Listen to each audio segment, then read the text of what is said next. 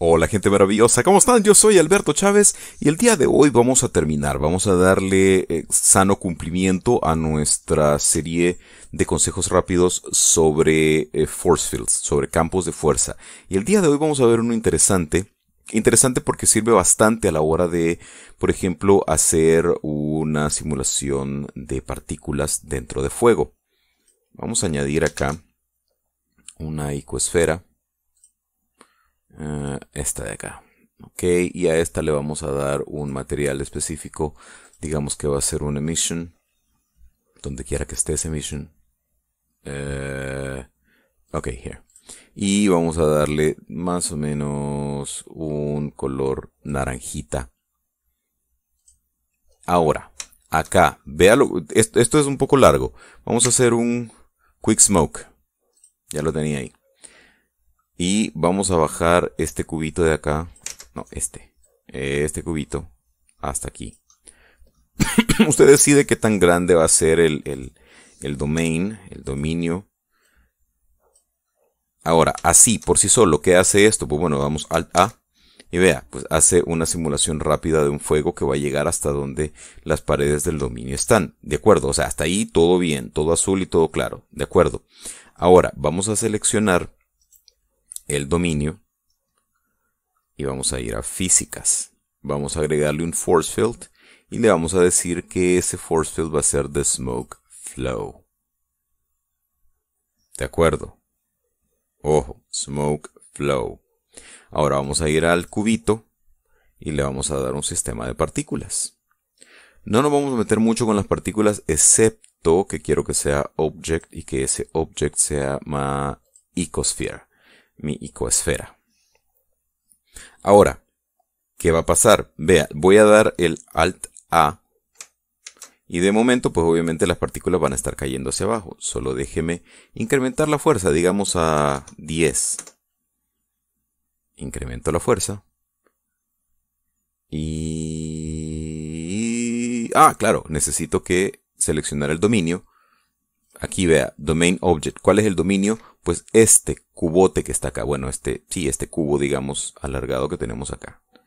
Este, y se llama smoke domain. Así que selecciono e inmediatamente vea el cambio. De acuerdo. Ahora, como se podrá imaginar, bueno, vamos a, vamos a acercarnos un poquito solo para que vea. Y vamos a detener en un momento determinado la animación más adelantito. Bueno, que, reinicie la animación solo para que vea. Ahí. Ok. Posiblemente aquí esté demasiado grande eh, las, las esferas. Así que está por demás decir que lo más conveniente es hacerlas más pequeñas. Pero bueno, para muestra un botón, voy a hacer un F12. Y vea. Esto, más pequeño, repito, simularía, por ejemplo, las chispas que salen volando de la leña cuando hay un fuego. Ahora, ya, basta, basta, solo quería mostrarlo. Tampoco hay que emocionarnos mucho. Entonces, le decía, esto de acá, bueno, aquí podríamos meternos un poquito con el tamaño de las partículas solamente para, eh, para que no sean tan exageradas, para que realmente parezcan las chispas pequeñas. Digamos que punto 15. Mm, sabe que quizás el punto 02 iba a estar bien. Ahí, vea.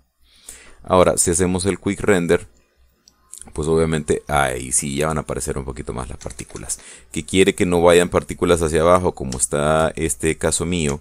Pues bueno, nada más se va una vez más al domain y le da más fuerza a su sistema, a su smoke flow. Digamos que le vamos a dar 20. Vea nada más. Y ahí van hacia arriba. Ahora, pues por supuesto hay que tener un poco de, tacto, ¿no? El 20 posiblemente haya sido demasiado exagerado, pongámosle un 15. Todavía demasiado fuerte. Así que vamos a ir bajando, digamos, a 12. Y ya, el, el, tamaño, digamos, la, la cantidad de partículas hacia abajo es menor pero podemos ir jugando, repito, con el número hasta que quede el número exacto como para que se vea bien. Vea que aquí las partículas están saltando. Sin necesidad de sacrificar nuestra animación. Pero bueno, repito, para muestra un botón. De eso se trata nuestro Force Field último de Smoke Flow. Se va a jugar en conjunto con eh, la, simulación de humo. De acuerdo. Aquí lo hicimos con un Quick Smoke, pues nada más para que fuese más rápido. Podemos agrandar el tamaño del, del dominio pues claro que podemos agrandar el tamaño del dominio sin ningún problema para que la simulación pues no sea tan, tan, tan obvia, ¿no? Y pues nada, damas y caballeros, le damos sano eh, entierro a esta serie de consejos rápidos. El prox, la próxima serie de consejos rápidos va a hablar sobre nodos, cortesía de mi buen amigo Buscavidas que me hizo eh, la sugerencia a través de los comentarios de YouTube. Gracias infinitas. Definitivamente ese va a ser el siguiente, la siguiente serie de consejos rápidos. Así que muchas gracias, amigo mío. Nos vemos la próxima, damas y caballeros. Si es la primera vez que usted viene por acá, pues sea bienvenido, sea bienvenida. Quede suscríbase que es completamente gratis y hacemos estos tutoriales digamos que dos veces por semana. Nos vemos la próxima. Ah, también, si me quieres seguir en las redes sociales, las direcciones aquí abajito en la descripción del video y en el post del blog. La dirección de mi blog también aquí abajito en la descripción del video, junto con mi dirección de Patreon por si se quiere convertir en uno de mis amadísimos benefactores, cosa que yo le voy a agradecer hasta el final de los tiempos. Y también, pues si le gusta leer, el link de compra hacia mi libro Cuentos desde el desempleo. Nos vemos la próxima, hoy sí. Hasta entonces, larga vida al software libre.